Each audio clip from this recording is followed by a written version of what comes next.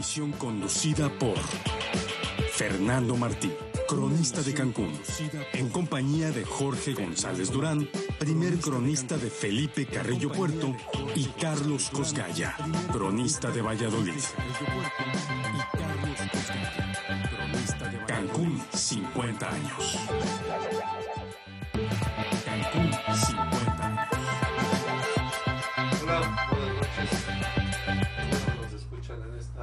De Cancún 50 años. Yo soy Soy Vamos a un corte. Fernando Martín, de la ciudad. con Me acompañan, eh, como todas, todos los miércoles, Jorge González Durán y Carlos Cosgaya. Y hoy vamos a tratar un tema por demás interesante. Eh, el próximo martes se van a celebrar los 45 años de la creación del estado de Quintana Roo. Eh, y es un buen momento para revisar qué era Quintana Roo antes de ser estado y, qué era Cancún cuando Quintana Roo era un territorio. Y, y también es un buen momento para, para analizar por qué el territorio de Quintana Roo tiene tanto prestigio, incluso más prestigio que el que tiene el Estado. Hay toda una leyenda alrededor de Quintana Roo cuando era territorio y este que, que no se que no se equivale vamos a decir con el prestigio que tiene al ser Estado de la República. Eh, ¿Te sugiero algo de ese comentario, Jorge? ¿Cómo no? Interesantísimo. Eh, el territorio de Quintana Roo se crea el 24 de noviembre de 1902. Lo crea, claro, este, lo aprueba el Congreso de la Unión y el decreto lo firma Porfirio Díaz. Eh, fue un hecho muy interesante con la parte mm, sudoriental de la península de Yucatán. Eh, este, o sea, desde que se creó, claro, eh, hay una leyenda. O sea, Quintana Roo, ¿cuál es la leyenda de Quintana Roo? Es la tierra del chicle, la tierra de la caoba y del, cen, y del cedro, pero más que nada de la caoba, que tenía un gran mercado en Estados Unidos y, y Europa. Y eh, el chicle, la extracción de, de la resina del chico zapote, fue este, una gran actividad económica a nivel nacional e internacional. Cubría el mercado de Estados Unidos, que compraba las, pues toda la producción, porque tenía un gran mercado. Eh, empezaron a masticar chicle los norteamericanos, creo que para mediados del siglo XIX, hay allí una leyenda. Y en las guerras que participaban, los soldados siempre llevaban, aparte de sus armas y sus alimentos y todo eso, llevaban una dotación de chicle, porque dicen que les ayudaba a mantener la estabilidad, la tranquilidad del ánimo cuando uno se entretenía, ¿no? Este, masticando el, el chicle. Las, en las selvas de Quintana Roo se, es- sobre las selvas de Quintana Roo se escribieron muchas novelas, eh, poesías, se tejieron historias sobre el paludismo, sobre las serpientes venenosas de la, de la selva, eh, sobre el hecho de que fue presidio durante la época de presidio político durante, durante la época de, de Porfirio Díaz y sobre todo porque es la única parte de México que mira al Caribe una un Caribe que apenas se fue descubriendo hace dos décadas, tres décadas, eh, con la fundación de Cancún. eh, pero Quintana Roo vi- vivió una época muy azarosa, pero además hay otra cosa por la que se hizo famoso el territorio, por el comercio. Fue primero perímetro libre, es decir, una zona que tenía exención fiscal, un trato privilegiado, que las mercancías que aquí entraban no, no, no pagaban impuestos. Y la zona de, se convirtió en una zona de contrabando. Después fue zona libre de perímetro porque se amplió hasta Cancún.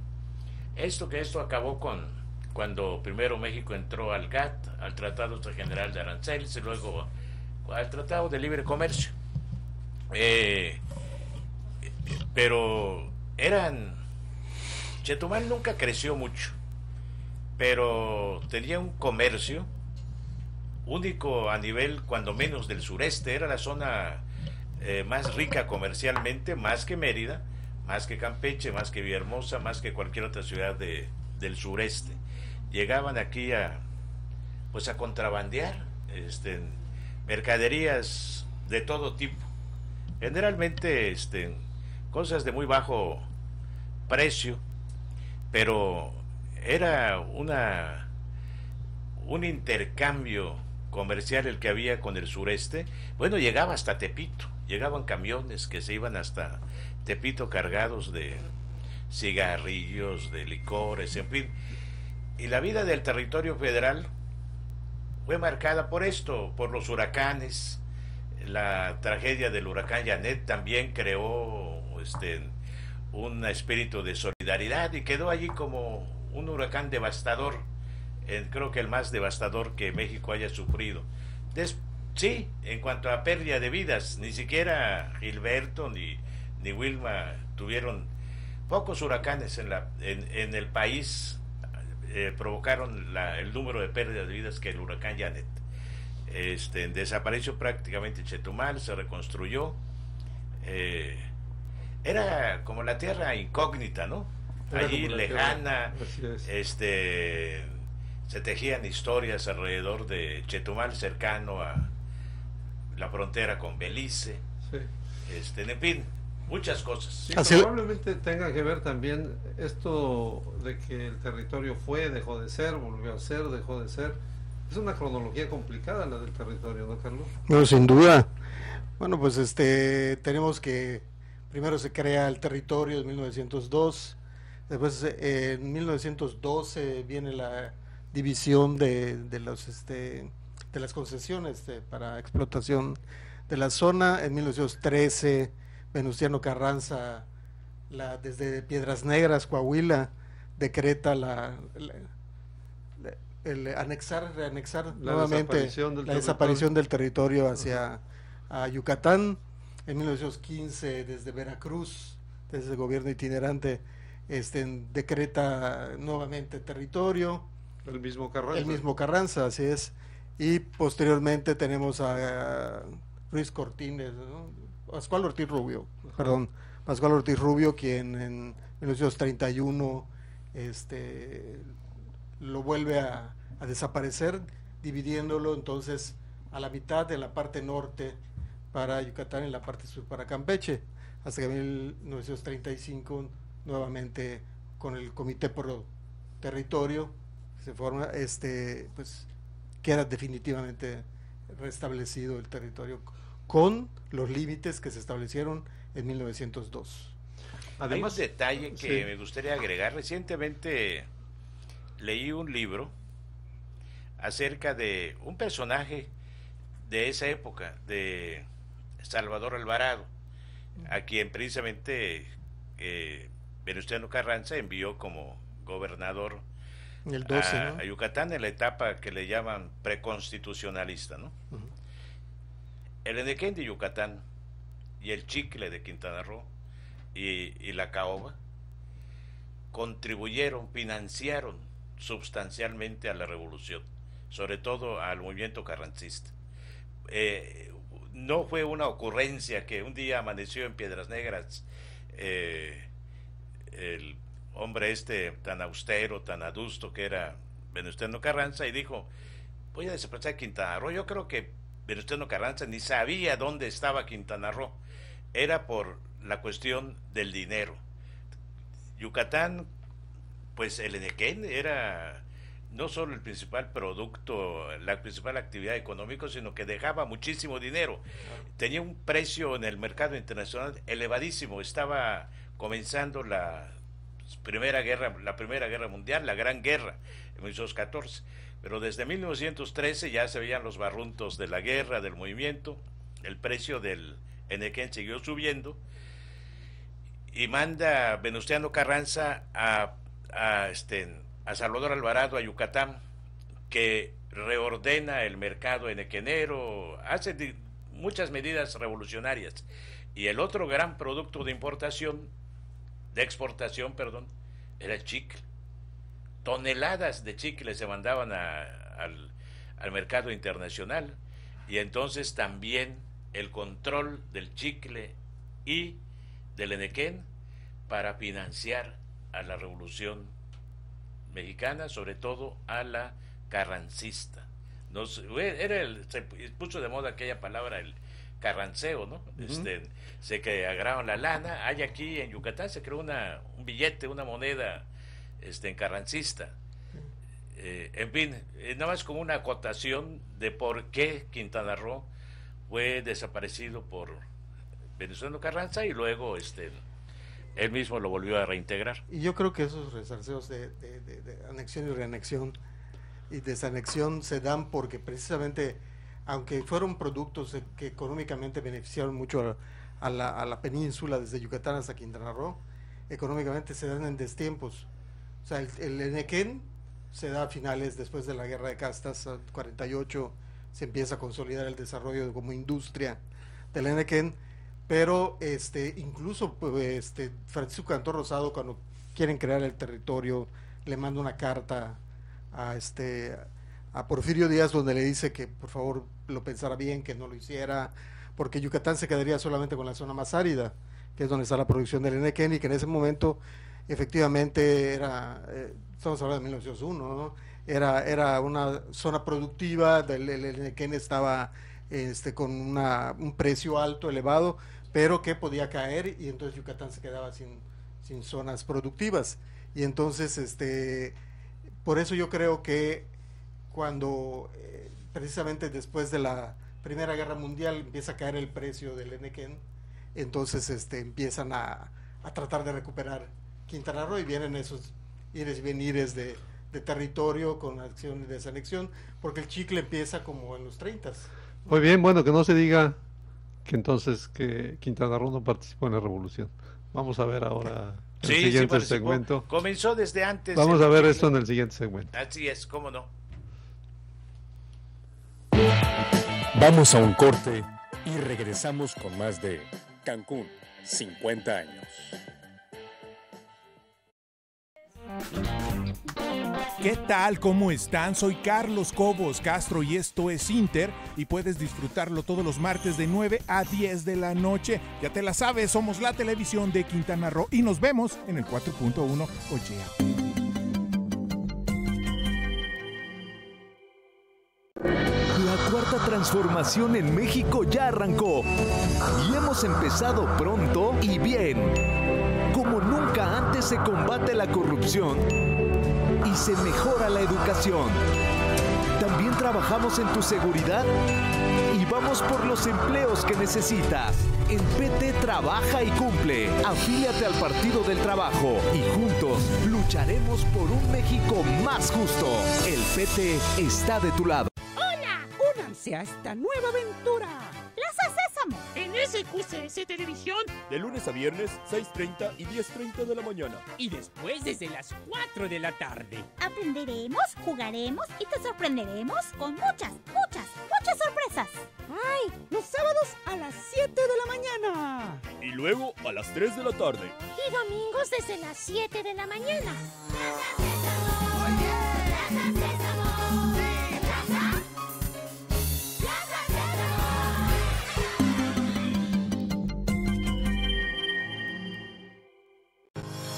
Para disminuir los rezagos en materia de salud que afectaban a Quintana Roo, se invirtieron 300 millones de pesos en infraestructura y equipamiento. Con esta inversión, mejoramos la calidad de los servicios médicos en comunidades urbanas y rurales en todo el estado, y también las condiciones en las que laboran trabajadores de la salud. Más y mejores oportunidades para todos. Gobierno del Estado de Quintana Roo. No llegues tarde. No toques eso. No veas eso. No te hagas. Ahora te toca a ti. Tú que ya sabes muchas formas de cómo decir no, graba un video de un minuto y muéstranos las formas de prevenir el bullying, la violencia y el consumo de alcohol y las drogas. Consulta las bases en la página de Facebook, Centro Estatal de Prevención Social del Delito y Participación Ciudadana. Modelo de Prevención Quintana Roo. Más y mejores oportunidades para todos. Gobierno del Estado de Quintana En Conjulich, el legado de la civilización maya permanece en el tiempo en perfecta armonía con la naturaleza.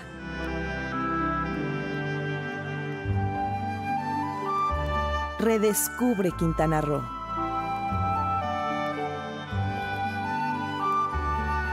Somos la televisión de Quintana Roo y nos vemos en el 4.1. Ya regresamos. Seguimos con más de Cancún 50 años.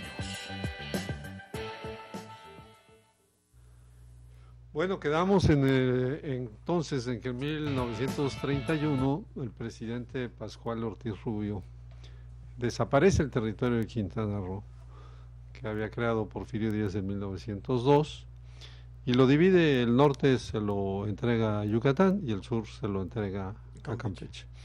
De hecho, pues hay actas de nacimiento, la del primer gobernador de Quintana Roo, su acta de nacimiento, la de Jesús Martínez Ross, dice nacido en Payo Obispo, Campeche Sí. porque este pues, porque le tocó en esa época y, y- Buen dato. pero pero lo interesante aquí es que en 1931 se crea un organismo de resistencia un organismo civil de resistencia que se llama Comité Pro Territorio es decir los quintanarroenses luchan por ser territorio y después no luchan tanto por ser estado no no es así este Sí, lo es del cierto. estado se da de una forma este pues accidental prácticamente voluntarismo político del presidente Echeverría este pero sí luchan por ser territorio, por volver de- a ser territorio Así es. Fíjense que el nombre este que acabas de mencionar de Payo Obispo eh, entra también en la leyenda y en la polémica. Nadie sabe, hay diversas versiones, pero nadie sabe a ciencia cierta por qué se llamó Chetumal, bueno, lo que lo que des- lo que hoy es Chetumal, Payo Obispo. Dicen que había un, un obispo de, este, de apellido Payo, o sea, el Payo, de nombre de nombre. Sí, había uno, pero no se sabe que haya pasado por, por, por Chetumal, sin que se iba a, que se fue a Guatemala y que pasó por acá. Y hay otra versión que sí llegó un obispo a quien los mayas torearon. La influencia española fue muy de, de mucho impacto entre los mayas. Adoptaron, por ejemplo, la corrida de toros, solo que como este y, y toreaban a sus enemigos. Hay este los precursores de la Revolución Mexicana allá de Valladolid, este de la primera chispa de la Revolución de junio de 1810, 24. algunos huyeron y se refugiaron entre los mayas. Así es. Claudio Dos de ellos fueron toreados. Lo narra esa historia este, Carlos R. Menéndez en su libro de la primera chispa de la revolución de Yucatán. Y este y dicen que torearon a un obispo. En maya pay es torear, o torear es en maya pay, y payobispo, el lugar donde torearon al obispo. Eh, Sí, entonces este, hay diversas historias respecto a eso. Pero volviendo al tema, se creó en, pues apenas eh, desapareció el territorio de Quintana Roo, como bien dices, dividido en una parte en, a Campeche, la otra parte a, este, a Yucatán, donde por cierto a los diputados o al, al Senado este, se les olvidó incluir una isla que quedó que ya no se sabía a quién pertenecía. Este, no le incluyeron ni a Campeche ni a Yucatán, después corrigieron este, el error. Y eh, se creó, se, se, se unieron porque ya había una especie de, de identidad. Somos de Quintana Roo. Los habitantes de, esa, de esta región habían llegado de diversos lugares, huyendo, muchos de ellos huyendo de su pasado. Entonces aquí tuvieron la oportunidad de construir una nueva vida, de alguna manera como Cancún, de alguna manera. Entonces ya se sentían dueños de su espacio, de su destino, de su historia, y de repente se las arrebata. Eh, entonces, sí se unieron, eran cientos, pero también hubo, este comité se creó también en Cozumel, de alguna manera en Isla Mujeres, en Carrillo Puerto, y dieron la batalla. hubo pleitos entre ellos que nombraron a un comité, luego lo desconocieron, en fin, pero este, como es usual. Pero en general se dio esta batalla ante el gobierno federal y cuando Lázaro Cárdenas llegó en 1933, Cuatro, en campaña. este, eh, sí, entre el 34 llegó a Chetumal por primera vez, llegaba un candidato presidencial a Chetumal que ya no era capital de nada, ¿no? Este, eh, entonces lo abordaron los payovispenses y le hicieron ese planteamiento muy, muy sentido. Y él ahí se comprometió de que uno de los primeros actos de su gobierno era, iba a ser reinstalar, reintegrar al territorio federal. Y, este, y así lo hizo. Durante mucho tiempo este, permaneció esta etapa olvidada. Bueno, eh, lo hizo, uno de los primeros actos de su, de su gobierno, ciertamente. Eh, y nombró a un general, amigo de él, a Rafael Melgar, como este gobernador del territorio federal. Un excelente gobernador. Eh, hizo muchas obras en Cozumel, donde se le recuerda con mucho afecto, iba mucho a Cozumel, en Chetumal y en otras regiones de, de Quintana Roo. Eh, en fin, este, una etapa esa muy interesante, fíjate. Hizo algo muy curioso, este Lázaro Cárdenas en esa en esa gira hace algo muy curioso, el comité pro territorio que que eh, presidía un poblano, Enrique Barosio. Sí, cuyo nombre lleva la, la biblioteca pública de aquí. Así. Este, le piden que, que restablezca el territorio porque ellos quieren gobernarse a sí mismos. Y entonces, Lázaro Cárdenas, siendo candidato a la presidencia, ni siquiera ¿no? Llama al pueblo y dice, en la asamblea vamos a elegir ahorita al presidente municipal del Payo Obispo.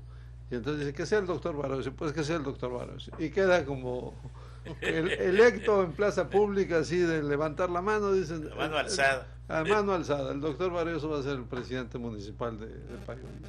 Digo, cosas que, que, este, que, que, que, quizá hoy estarían mal vistas, ¿no? Que un candidato este, en la Asamblea Popular eligiera un, un, un presidente municipal, ¿no? ¿No se ha visto últimamente? lo de la mano alzada sí, pero... lo, lo de la mano alzada sí. Es este, bueno, hablabas hace un hablabas hace un momento de que eran pocos y realmente los que venían de Quintana Roo pues eran muy pocos porque el territorio en 1970 cuando en el censo de 1970 apenas suma 80 mil habitantes esa es la cifra que da el censo y entonces cuando en 1974 el presidente Echeverría decide crear el estado pues no les alcanzaba ni para un diputado, o sea, porque los diputados eran 250 mil, este, un diputado por cada 250 mil habitantes, ¿no? Sí. Y sin embargo, Echeverría toma la decisión de crear el, el, el, um, el, el estado, estado, tanto el estado de Baja California Sur como el estado de, de Quintana Roo, y entonces ya no solamente tenemos un diputado, sino dos. Sí. Este, ¿Cuál habrá sido la motivación del presidente Echeverría para para crear el estado de Quintana Roo y el estado de Baja California, solamente protagonismo político. ¿Cuál habrá sido? Sí, yo creo que con muchas de las acciones de Luis Echeverría, él tenía un gran sentido de la historia, pasar a la historia. Él quería hacer por primera vez muchas cosas. Y entonces, porque ciertamente yo vivía en Chetumal en ese tiempo y sí había un, pero muy tenue, una muy tenue aspiración a ser a convertirse en Estado. Es una situación, ¿por qué? Porque lo primero que pensaban los habitantes de Chetumal, la clase política con la que yo convivía, la incipiente clase política de Quintana Roo, era en qué nos va a beneficiar y en qué nos va a perjudicar. Pues que vamos a, tener, a pagar más impuestos. Entonces, no, entonces, o sea, habían derechos, pero también habían responsabilidades. ¿no? O sea, este no eran no era municipio, no había municipios, eran delegaciones de gobierno. y no se pagaba el impuesto predial, que luego se pagaba, que luego se empezó a pagar. Se, se pagan los impuestos federales, lo que actualmente no sé si en esa época así se llamaban, el ISR el IVA no, no existía. En fin, eh, se empezaron a pagar impuestos. ¿Y a cambio de qué? Pues de que ahora sí vamos a poder elegir a nuestras autoridades. Y otros decíamos que la siga mandando el centro, o sea. Este, más bien, sí, más bien lo que buscaba la clase política, ese incipiente, era ser designados ellos, ¿no? Tomar control sobre la política local, ocupar... Eh, este... Había una queja, le llamaban así, este, había una frase que a mí siempre me llamó la atención y que todavía se sigue eh, usando de alguna manera, los de fuera. Es que nosotros tenemos derechos a los cargos y no los de fuera. Los de fuera podía ser cualquiera, ¿eh? que aunque tuviera 20 años viviendo, pero la gente que tenía más tiempo te veía como los de fuera. Bien, vamos a ahora vamos a hablar de Cancún en el próximo segmento, pero tenemos que hacer un corte. Vamos a un corte y regresamos con más de Cancún, 50 años.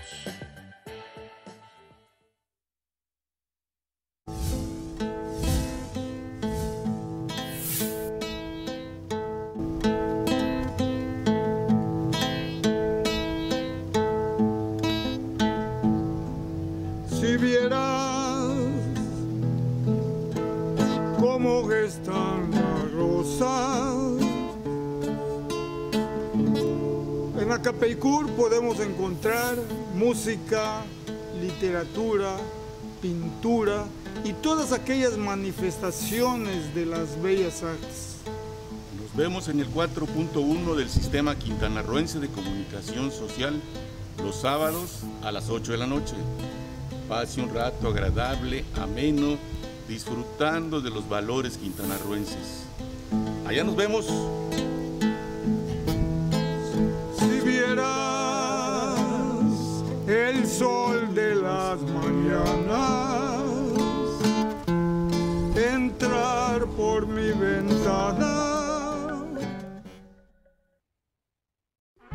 ¿Buscas un pan bien horneado, galletas crujientes y sabrosas o un pastel con el decorado ideal? Marilui debes buscar. Alta calidad y un toque de distinción encontrarás en nuestros bocadillos, galletas, línea de productos bajas en calorías y pasteles para eventos especiales. Estamos en Avenida Juárez, 195, entre Cristóbal Colón y Mahatma Gandhi.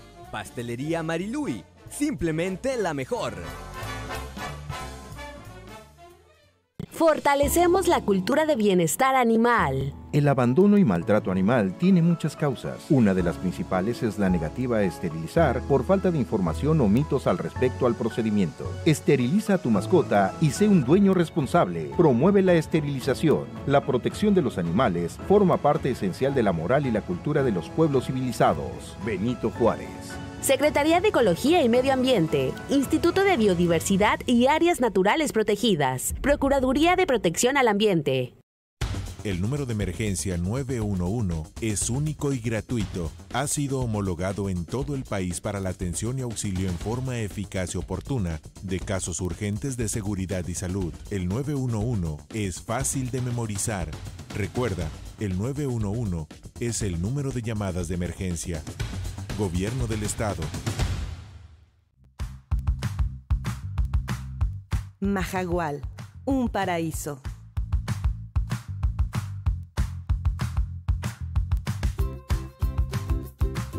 Redescubre Quintana Roo.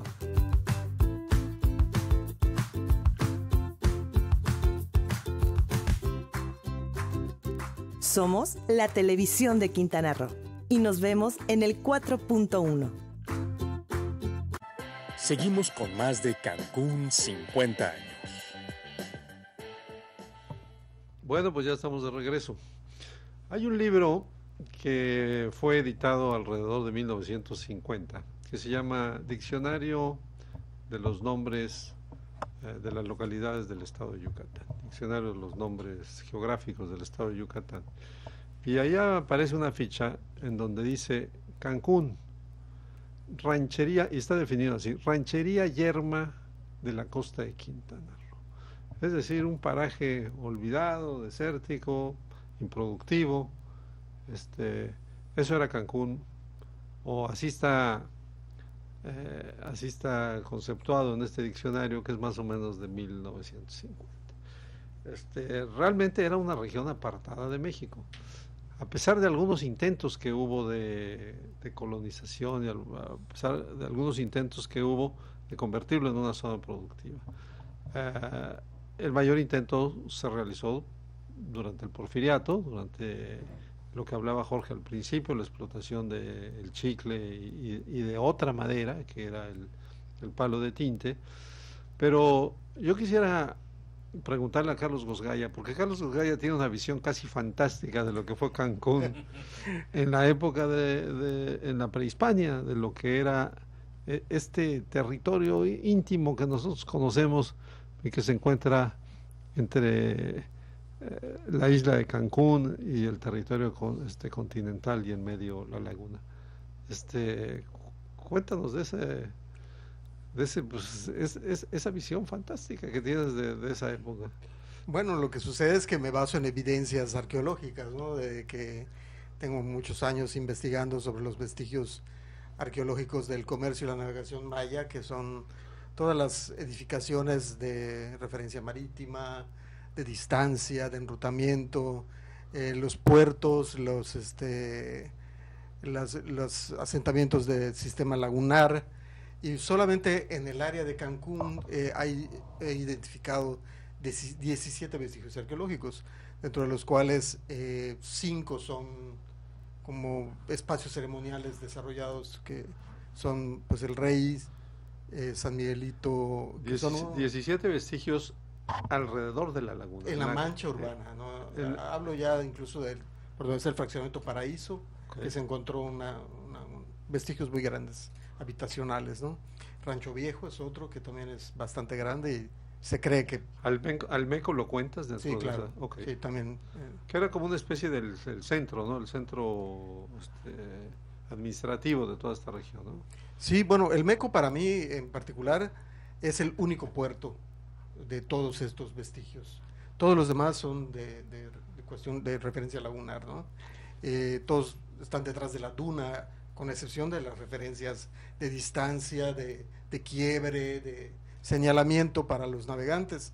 Eh, todos los demás, los asentamientos en sí, que es Rey, San Miguelito, Cocholná, que está todavía cubierto, Río Inglés, que son asentamientos que describen con plaza y templos, etcétera. Todos están hacia la laguna.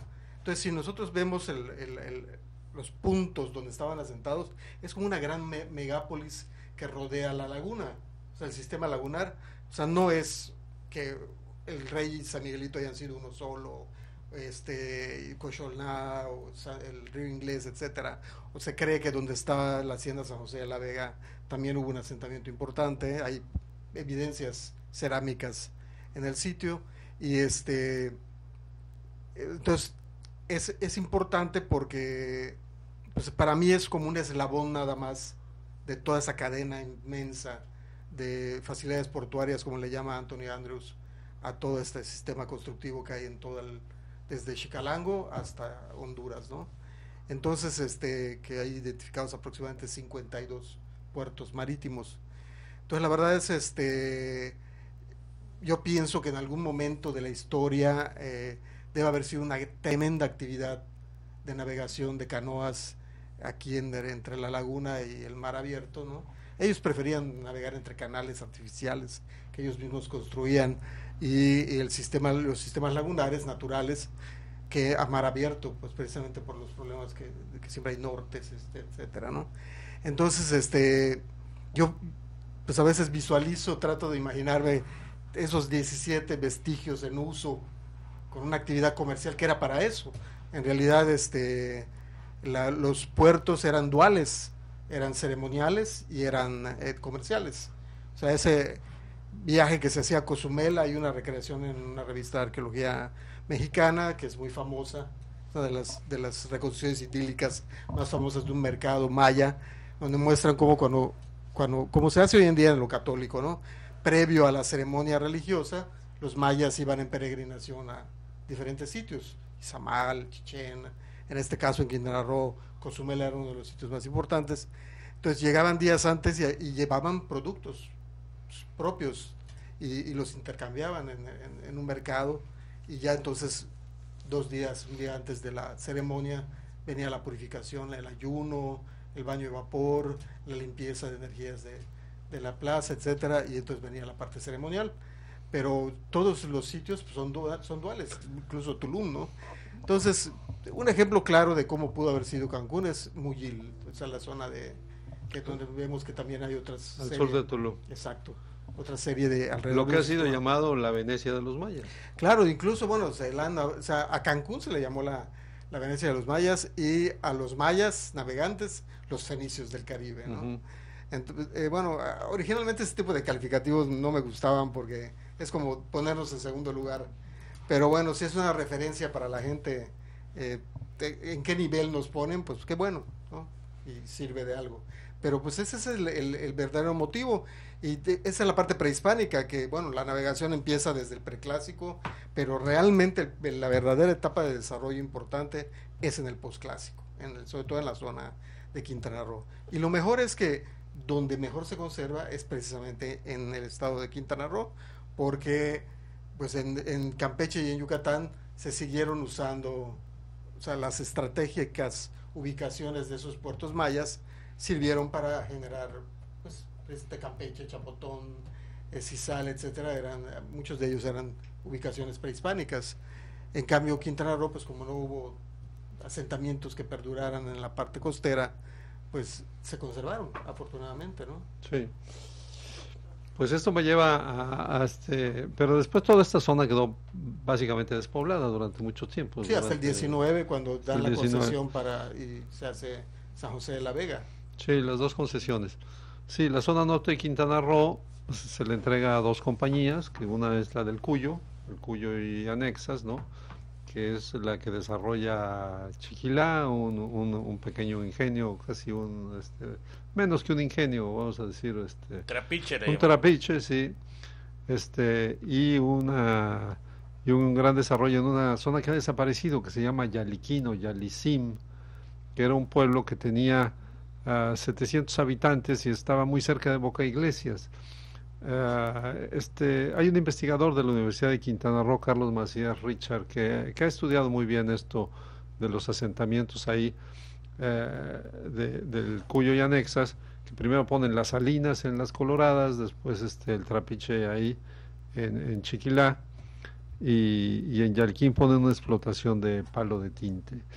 Este, Yalquín llegó a tener 700 habitantes fijos, que parecen muy poquitos, pero en ese momento tenía más que Isla Mujeres y este y casi los mismos eh, que Cozumel que tenía 800 habitantes. Entonces era una población importante del norte de Quintana Roo. Y la otra compañía es la, la compañía colonizadora del norte de Yucatán que es la que forma ah, la hacienda de Santa María no este bueno que es ahora finalmente se, se termina transformando en Leona Vicario en donde concentran también la explotación del palo de tinte del chicle para sacarlo este, desde ahí eh, por una vía férrea hasta Puerto Morelos, que en aquella época se llamaba Punta Corcho. Bueno, en esa época ha sido detectada la existencia de un rancho en las en las en la ribera de la laguna Nichupté que se llamaba Buenaventura o San Buenaventura. San Buenaventura. Sí, que debe de estar muy cerca de lo que hoy es la actual Plaza de Toros o del, del eh, o del uh, Malecón, Tajamar, ¿no?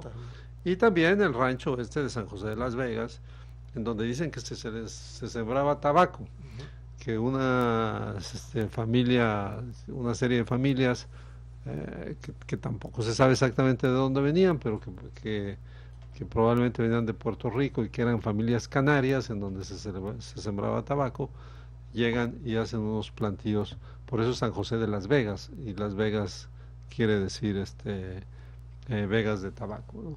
Pero la, toda esta colonización, a final de cuentas, este, desaparece.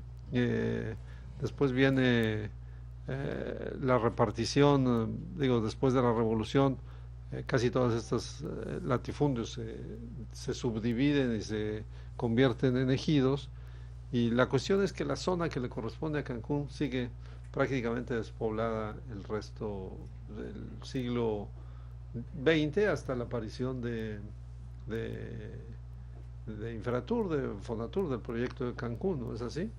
Eso es.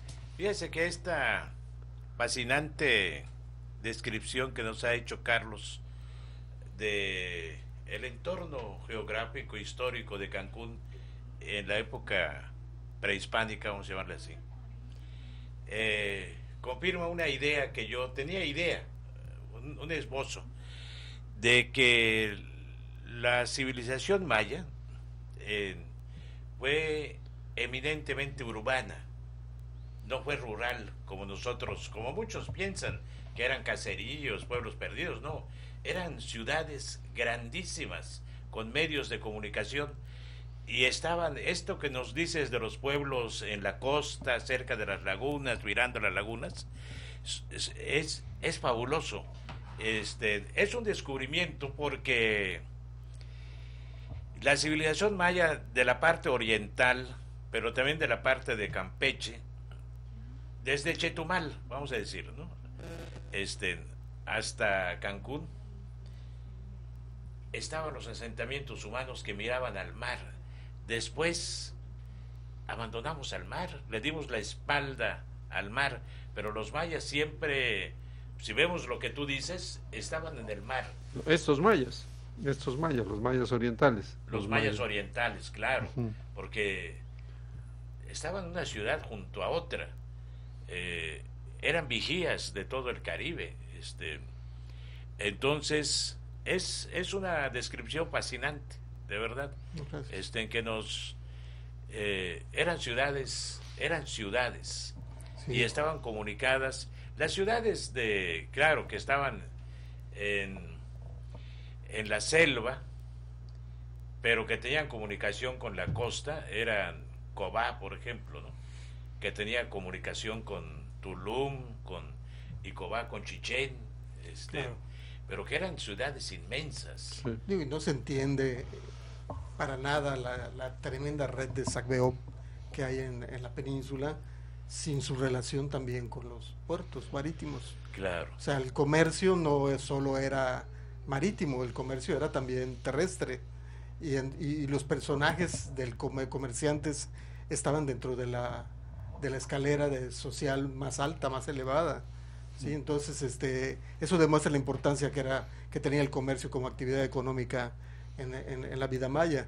Y, por eso esa tremenda infraestructura, tanto de caminos que intercomunicaban con las diferentes ciudades, así como con los puertos. Bueno, los caminos dejaron huella, pero las huellas en la mar, los caminos en la mar no se notan. Y eso es de lo que vamos a seguir hablando ahora que regresemos después de este corte. Vamos a un corte y regresamos con más de Cancún, 50 años. Pues antes el servicio del agua potable era, no tenía mucha presión, pues tiene muchos años que no nos habían cambiado las tuberías. Sí, es un poquito eh, complicado el cierre de tráfico, el polvo, todo, pero es un beneficio que a grandes rasgos va a beneficiar a cada uno de los ciudadanos de nuestra colonia. Vale la pena porque vamos a tener un mejor líquido. Pues qué bueno que Capa tome las cosas como debe ser para mejorar el servicio. Ahorita tiene más presión el agua, sale más clara. Pues yo le pediría a la ciudadanía en general, en donde se están llevando a cabo las obras para mejorar el suministro de agua a través de capa, pues que tuvieran un poquito de paciencia. Al final del camino es a beneficio de nuestros hijos, es a beneficio de la niñez. Por más y mejores oportunidades, avanzamos con capa. Más y mejores oportunidades para todos. Gobierno del Estado de Quintana Roo.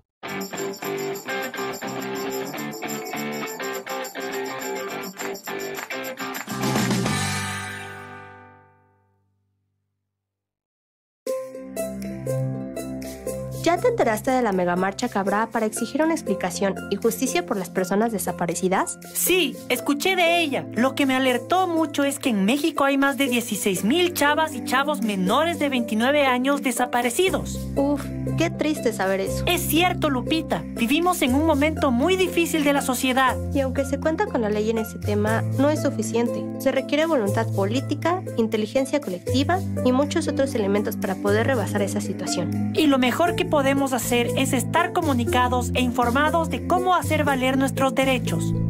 Si quieres saber más de tus derechos humanos, consulta la página cndh.org.mx.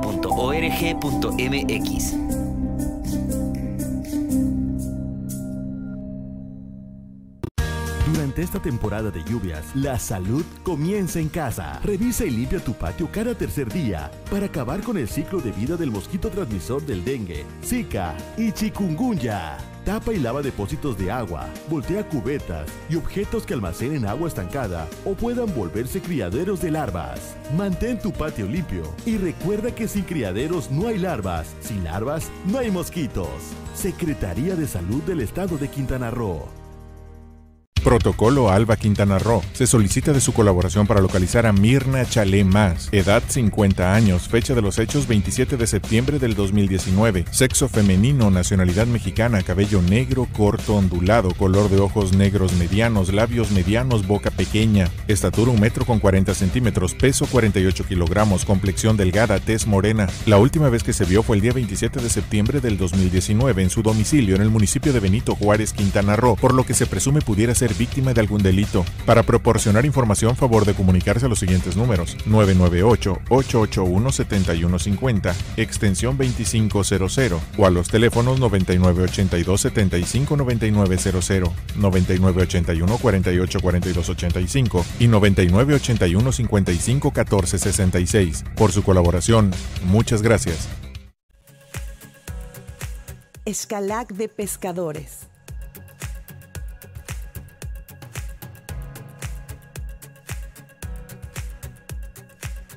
Redescubre Quintana Roo.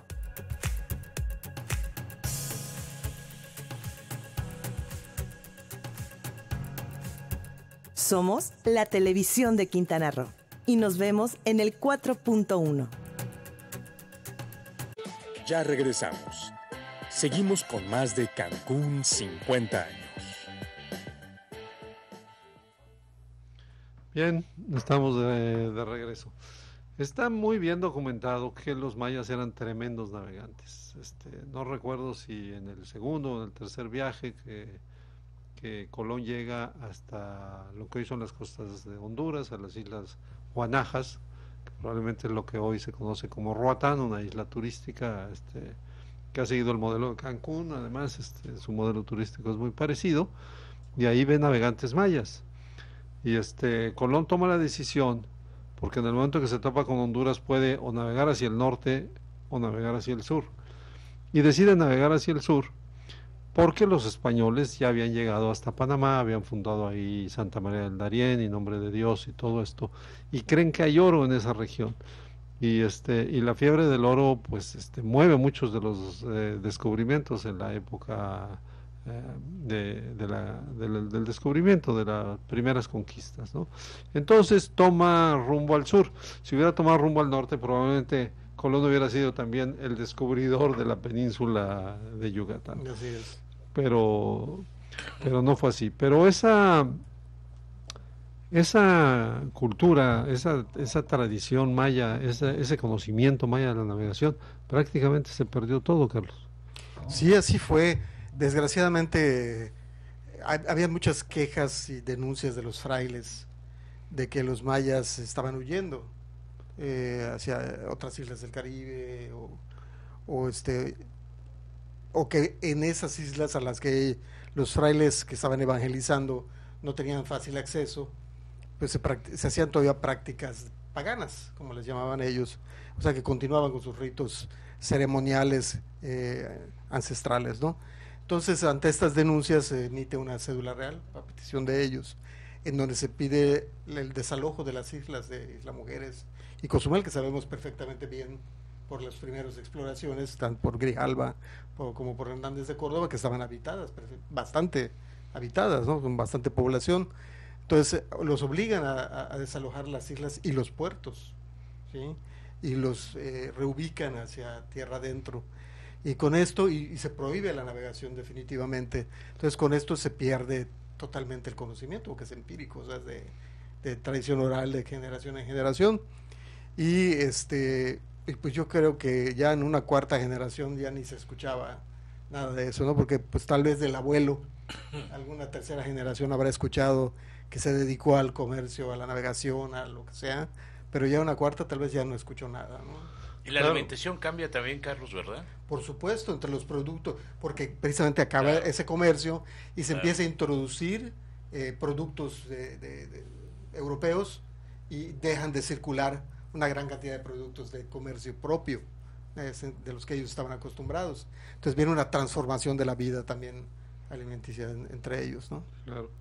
No, y debe haber sido, Bernal relata que en el primer encuentro, cuando llega Hernández de Córdoba, salen a recibirlos en canoas, claro. los mayas, pero dice canoas en donde venían 20 hombres, o sea, ¿qué, qué, canoa necesita, sí. o sea, de qué tamaño para que le quepan este, 20 remeros? Tiene que ser una, una canoa muy grande y además pues muy bien manejada, porque, claro. porque el Caribe mexicano pues, no es un mar fácil, es un mar este, muy ventoso, con muchas corrientes y y todo eso. En el Códice de Dresde eh, hay una, bueno, en el, el, códice trae, la escritura viene con números, símbolos, ¿no? Y este, y figuras dibujadas, humanas. Y en el Códice de Dresde hay una serie de dibujos sobre canoas y remos. Hay como un estudio. Entonces, este, de ahí se deduce en algunos murales y en algunas vasijas sobre cómo eran las embarcaciones, cómo llegaron a desarrollar y evolucionar para, para navegación marítima costera y para la, la, lagunar, por la forma de los remos. De acuerdo a los conocimientos actuales, obviamente se hace una comparación y entonces este, ya se sabe cada uno de estos este, eh, actividades que, que, pudieron, cómo pudieron haber sido sus embarcaciones, el desarrollo y la evolución. ¿no? Fíjate que mencionaste al arqueólogo este Andrews. Sí hizo unos estudios muy interesantes en Cozumel eh, sobre San Gervasio y estaba estuvo él en Cozumel tiempo. Y ahí yo lo entrevisté en los setentas antes de que esto fuese estado me interesó. Eh, entrevistaba yo a los arqueólogos encargados de la restauración de Cobá de, de Cozumel y él me decía recuerdo no sé dónde si todavía existe ese periódico almoriano pero recuerdo lo que me dijo, que habían descubierto testimonios de la presencia de habitantes de todo el Caribe en Cozumel, de este, civilizaciones naturalmente menos desarrolladas que esta, pero que este, habían encontrado cerámica y testimonios de estas navegaciones. Decía que a la diosa Ichel de Cozumel llegaban en peregrinación desde Jamaica.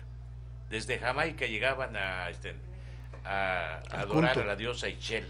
Este, en pero, fin, fíjate qué interesante está. Pero obviamente, esto. obviamente tenía que ser navegación a vela, ¿no? No podría. No, no, solamente, no, no se sabe, no sé qué, hasta ahorita no hay evidencias de que hayan usado la vela ellos. ¿Solamente eh, remos? Eh, remos, sí. ¿Y las corrientes? Así es porque venir de Jamaica hasta Isla Mujeres, vamos a decir, Así es. En, a remo debe ser una tarea titánica, ¿no? Sí, pero no hay una sola evidencia ni en dibujo, ni en grabado, ni en tallado, ni en nada que muestre una vela. O sea, hay quienes dicen que, como que por lógica contundente deducen que debió haber sido así, pero lo extraño es que hay murales, hay pinturas de, de cerámica, hay códices etcétera, y ninguno evidencia el uso de velas. Sí. Entonces, ni tampoco se ha encontrado alguna evidencia física, mucho menos de las embarcaciones, por supuesto, sí. como son materiales perecederos. Ojalá, ahorita hay una búsqueda de eso, ¿eh? hay, hay, hay, hay, precisamente un objetivo de, de, de, arqueología subacuática en la que se busca encontrar eh, embarcaciones prehispánicas. Y este cruce que hacen en Chetumal cada año, el, este, el, el Parque Xcaret que organizan lo de los remeros mayas, debe de tener cierta similitud con lo que realmente pasaba o Pues yo, ah, me preguntan mucho eso, pero yo sí creo que tiene, son dos objetivos absolutamente diferentes. El, el primero era una peregrinación religiosa, iban a adorar a la diosa Ixchel y se iban con sus productos al comercio, eh, era una cuestión de fe y de comercio y de actividad comercial. Y en el caso de Xcaret, pues es una actividad deportiva, porque son gente deportista la que, que han hecho un, bueno, el otro día veía unas entrevistas y como para muchos ha significado un cambio de vida el, el inscribirse a esta actividad del canotaje que promueve Xcaret y que obviamente también se ha vuelto una cuestión espiritual, pero muy lejano a lo que al culto prehispánico, ¿no? Entonces yo sí creo que, que es una recuperación de una actividad de un de una tradición, pero no la verdadera. ¿no? Bien, nos tenemos que ir. Eh, tenemos eh, una página en Facebook que se llama Cancún 50 años. Pueden acceder ahí, pueden ver el programa, pueden ver algunas fotografías que hemos estado subiendo, algunos artículos, todo eso. Y también tenemos un número celular que es el 99 88 45 02 52. Ese es un teléfono para WhatsApp para que nos manden ahí sus comentarios, sus mensajes y este y con mucho gusto a partir de la próxima semana los vamos a, comentar aquí. Pues ya nos vamos. Este, buenas noches, gracias. Buenas noches, Buenas noches.